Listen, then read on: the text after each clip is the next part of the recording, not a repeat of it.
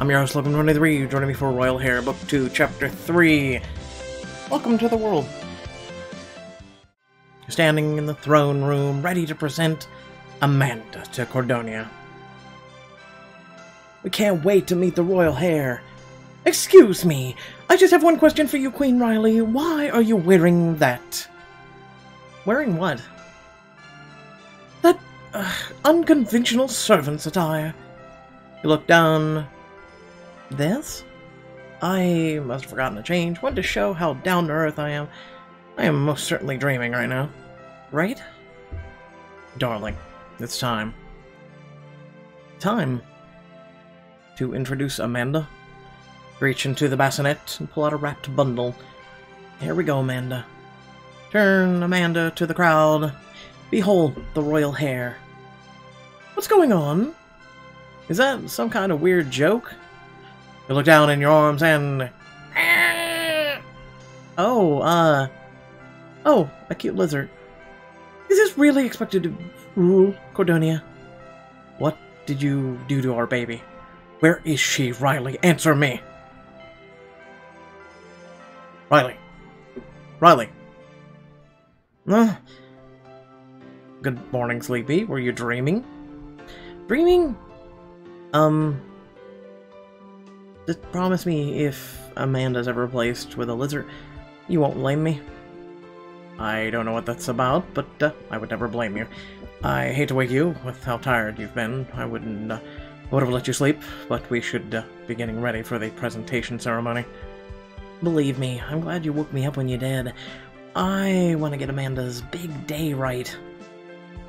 I can't believe we're going to be sharing our Amanda with all of Cordonia and the world.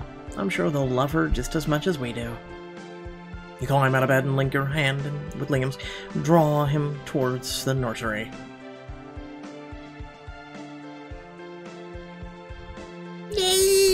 Nakey baby. Amanda, you're awake, and you seem suspiciously pleased with yourself. You pick her up from the crib and catch her in the unmistakable whiff of a very full diaper. Oh, God, yep, that's that's poop. I'll get this. Now with the uh, the last of the umbilical cord all cleared up, and she's uh, uh had a very productive night. Maybe uh, now's a good time for her first real bath in her little tub. First bath. This is gonna be so cute. I'll go, go set it up. And I'll handle the dirty diaper. Grinning, you pass Amanda to Liam and hurry from the nursery to set up the bath. Soon you find yourself juggling several items while flipping pages in the parenting book. Okay, what do I need? Two towels, check. Baby safe shampoo that's been vetted by Dr. Ramirez and the King's Guard 2, check. I'm nearly certain that Bastien inspected everything personally. Hmm. And last but not least, Cuddly Tubble's Royal Baby Bath. Okay. Now, we've just got to get the water temperature just right. Take Amanda in your arms as Liam starts filling up the special basin with water. She stirs and starts to fuss. Don't cry, sweetheart. You're gonna love bath time. Uh, the water's still too cold. Just keep her distracted for a few more seconds. Okay, how about we sing a fun little song to get ready? Just for you, Amanda. It's time for soap and bubbles and dry towels and snuggles. You cuddle close to Amanda and she giggles as you kiss her cheek. It's time for warm, warm, warm water. It's time to clean my daughter. Water's ready. Settle Amanda down into the bath and carefully wash her. She's so tiny. Our little baby. I'll splash Liam, gently wash Amanda. You scoop up another handful of water and rinse off more soap bubbles. Look at us, huh? We're doing it. You did a great job. And Amanda thinks so too. Uh, last step, washing her hair. This seems hard. I believe in you, we can do it. Oh my god, it's washing a baby. You squeeze some baby shampoo in your palm and reach for Amanda. Oh, don't look so sad, Amanda. Bath time is fun. Hey, look, Amanda. Look at my goofy face. Wamp wamp wamp.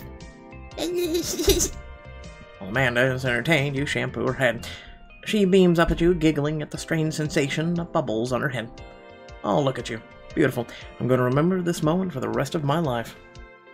Wait, it's too cute to just be forgotten someday.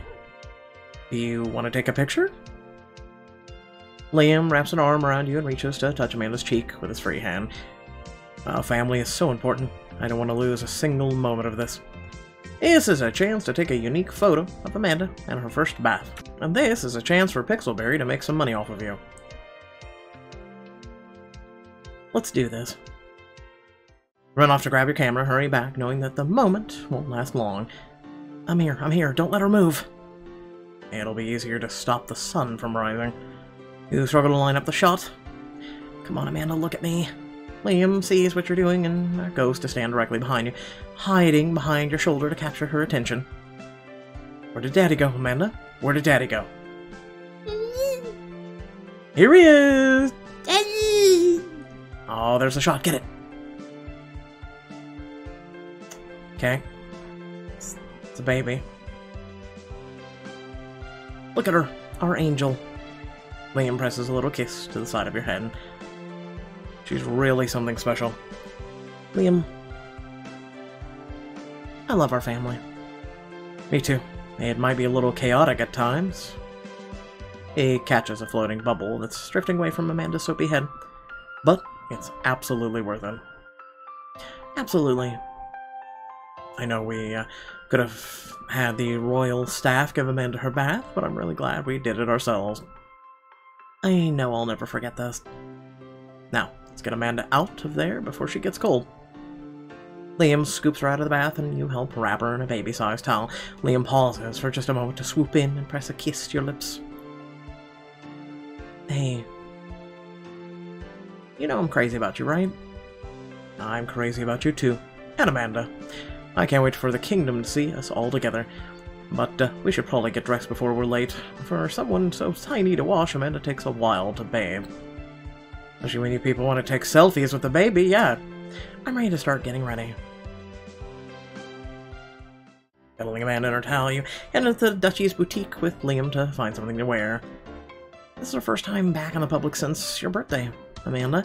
That calls for something special. Amanda wriggles in your arms, her attention drawn to a cute dress and matching jacket. Our daughter has a good eye. If that's your way of asking me to try it on, I accept. And look, it looks like the dress has a coordinating baby dress too. After you get dressed, you'll have a chance to purchase a special matching dress for Amanda. Cordonia's Darling, a simple but stylish dress for your return to the public eye. Still think the pink is better than this, but I like the blue. Fine. Two diamond choices in less than a minute. Just because you like it, Liam. I suppose power comes with some privileges. Anything for the king.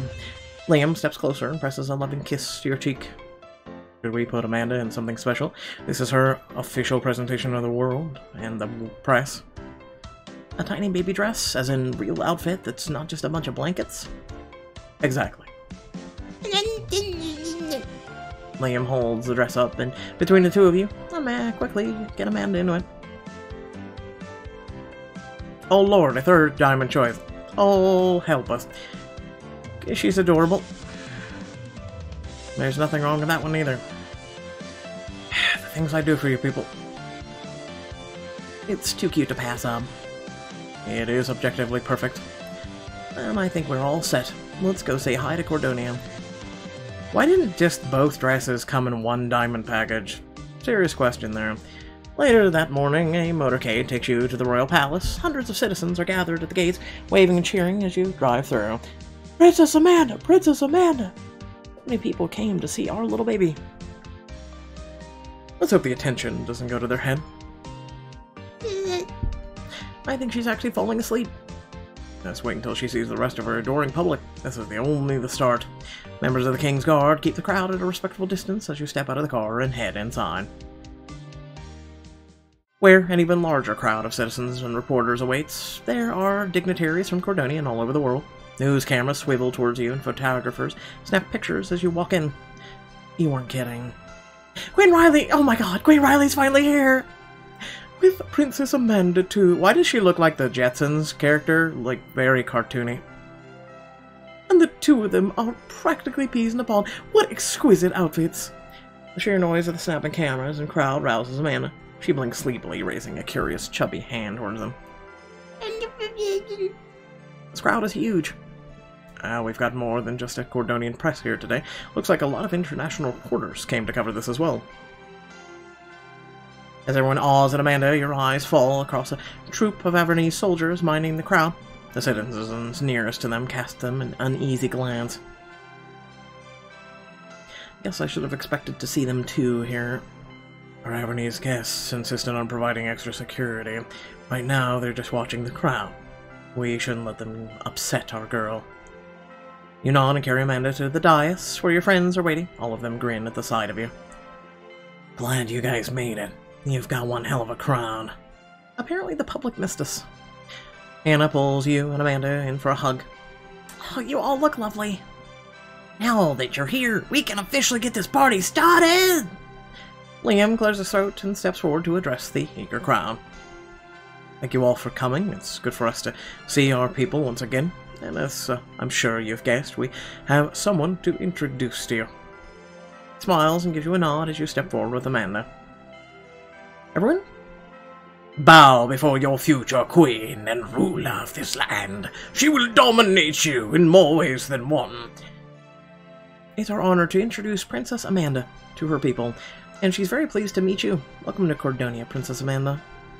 Crowd erupts with cheers, and the bells begin tolling throughout the palace. I think we have time for a couple of questions before we attend today's royal council meeting.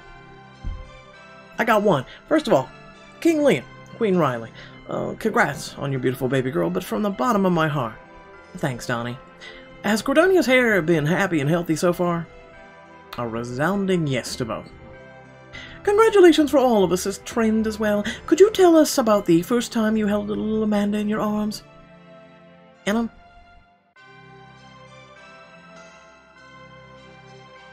Just pretend I'm making keyboard smash noises with my mouth. What? I don't get it. Anyway, it was the best moment of my life. I found so much happiness since I came to Cordonia, but the moment the doctor handed me our little girl, I've never been happier. I couldn't have said it better myself. Congratulations, Your Majesties. A Larkin Ando from the international media outlet Globe. Well, I didn't see that one coming. Parenting can be a lot, especially the ri raising a princess. What's it like having a royal baby depending on you at every moment?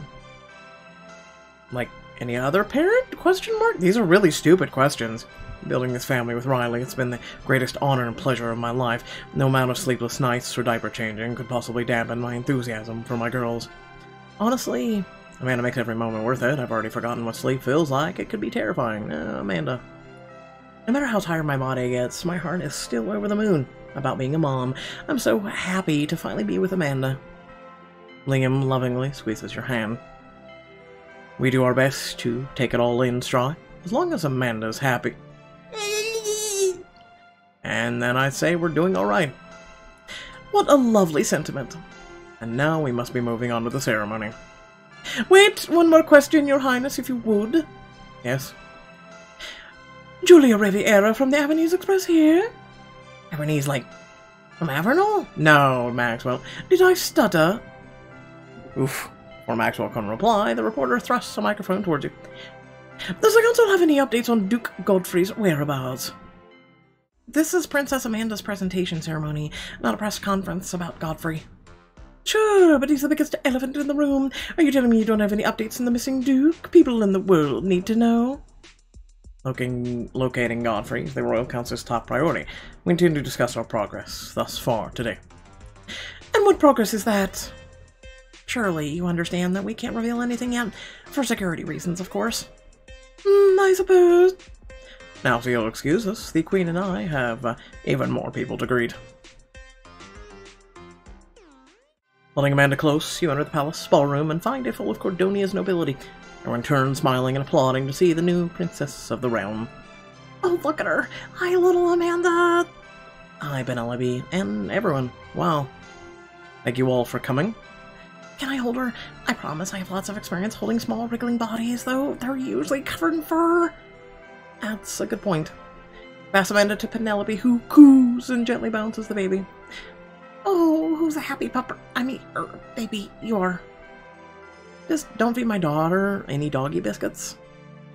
She is beautiful, you too. Congratulations. I can only imagine such an honor as to parent the heir of Cordonia. Merci, Bercoup. C'est moi que vous remercie. Okay, on Olivia's turn. Look, Amanda's reaching for you. Me, right now. Oh, you're wearing blue for once. Mean, Olivia places Amanda in Olivia's arms. She's so light and fragile. Try not to throw her like a dagger. Olivia? Hmm, looks like you're ready to babysit.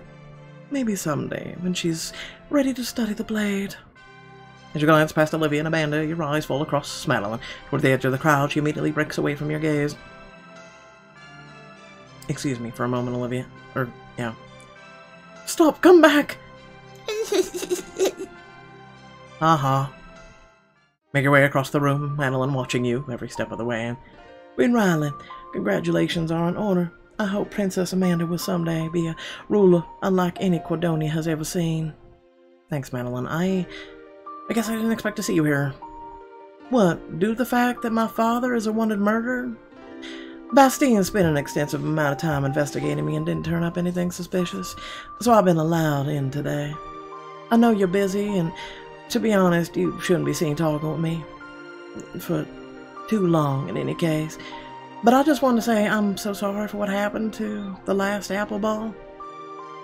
Not only did my father rather rob your husband of his mother, he also endangered your life and the life of your newborn daughter. I just... I truly am so sorry. Madeline, you're not responsible for your father's mistakes. You're your own person. Most people here may feel otherwise, but I appreciate the sentiment. Ah, uh, what is it? In the past, our positions were all once reversed, and I was unkind to you. I had no reason to expect any kindness from you, so this means all the more to me. Madeline touches her heart and looks down. Thank you, Queen Riley. I'll let you get back to it. You feel a soft touch on your arm and turn to find Liam holding Amanda. I think it's time to introduce Amanda to some new friends and allies. Eh? Are you ready, Amanda? Because it's time to get those dimples out. Perfect. Now we're ready. Queen Regina and Prince Leo approach you from the edge of the crowd. Congratulations, my dear. It's great to see you and this little princess. She's lucky she takes after her mother. I like to think she's got the best parts of both of us. Liam embraces Regina in a warm hug and does the same with Leo. Allow me to introduce Princess Amanda of Cordonia. She's got a ways to go before hello, so consider that her way of saying hi. Bertrand and Bartholomew approach you, smiling warmly. Congratulations, I'm sure you've heard it again and again today, but you deserve it.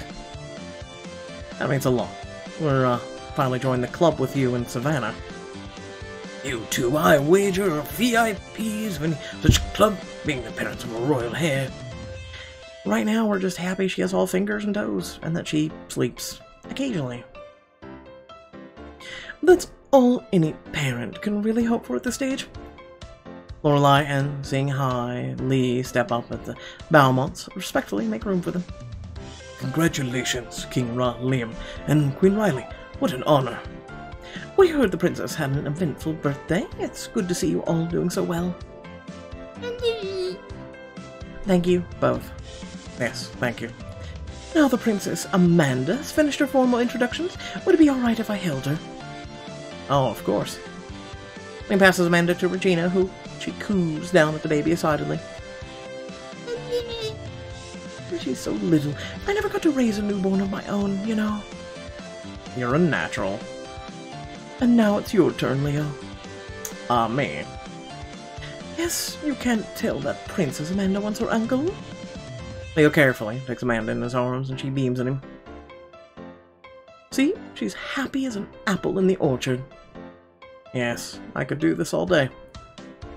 Liam, Riley, you two both look like you could use a break. Why don't the two of you get out while we watch uh, Amanda for you? Date night? Haven't really gotten out of the house since Amanda was born. We do have a little time before the council meeting. Should we steal a moment away together? This is your first chance to uh, have a date with Liam. Oh, go on a date with Liam. Looks very quaint. As long as our daughter's in good hands, I never turn down time with you. Well then, let's go. A short drive later, Liam leads you into a small hole-in-the-wall restaurant tucked away in the capital's oldest district. The food here is some of the best in the city. I think it looks sweet and smells delicious. Oh, your highness! Welcome back! Follow me! As you walk through the empty restaurant, you see a closed for maintenance sign on the door. This restaurant is open, right?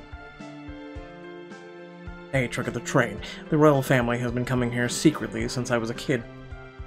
We found that it's easier to keep the tabloids and gossips away if we feign plumbing issues instead of announcing our royal guests. A very clever ploy that's made for many happy memories here.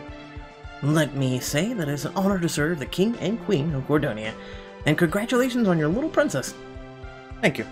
We feel quite blessed. Well, I won't keep you from what you're really here for. Please have a seat. Our head chef will be out to start your entree shortly. The waiter gestures for you to, to use the table, where the chairs face the chef's preparation station in the open rustic kitchen. Oh, so we get to watch the chef make our food? It's like a dinner and a show. I thought it would be a nice way to enjoy the meal. Liam, what did you used to come here with? What's your favorite dish here? It's hard to choose. When I was young, it was definitely their savory meat pies. They'd be hot and bursting with spices. But everything's wonderful. This place boasts the best and freshest Cordonia fare. They change the menu every season. It's uh, always delicious. But I can't wait for you to taste it. I can't wait for me to taste it. A pleasant-looking woman walks up to the station and starts prepping ingredients for what looks like to be a promising lavish meal. Why is she always associated with being a chef? For the love of God, Pixelberry, pick someone now. It takes literally maybe five minutes to animate a new face. It's not hard. Good evening, your majesties. I'm Chef Mira. I have a special dish for the two of you. I hope you'll enjoy it. And Liam watch Chef Mira mix eggs into a mound of flour on the counter, expertly crafting together a soft dough. Is that fresh pasta? You make creating the dough look so effortlessly. I've had a lot of practice over the years. Would you like to try your hand at it? Gamely, you and Liam nod, and Chef Mira sets out a bowl of flour and eggs. The two of you puzzle over them. So clearly we mix the flour and eggs together, but how? You take the flour and pour it on the cutting board. Chef Mira laid out for you. Make a well out of the flour. Like this. You tunnel into the flour until it forms a shallow well and put the eggs in it. Very clever. What can I say? You married well. Yeah, she used to work in a restaurant after all. I would never argue otherwise. Well, it was kind of like a bar restaurant, but eh. Together, you and Liam make turns, folding the mix together until you make a dough that is only slightly lumpier than the chef's. Very good, your majesties. This will be perfect. Now give me a little bit. You sit back and watch Mira work. A short time later, she places one large bowl of pasta with a delicate herb sauce in front of you. You taste it. Mmm. This is perfection. How can a dish make me feel nostalgic while having it for the first time? I think that's a little nostalgia in any good home-cooked meal, and uh, this pasta is truly excellent. If you're pleased with the meal, I'll leave you to enjoy it, though please lift a hand if you need anything else. Smile at Liam as she leaves, and the two of you feed one another, trading bites of delicate, delicious pasta. I can see why you love this place so much. Yes, it can be difficult to find authentic traditional meals that'll nourish you through and through like this. I could get used to this. I could learn to cook.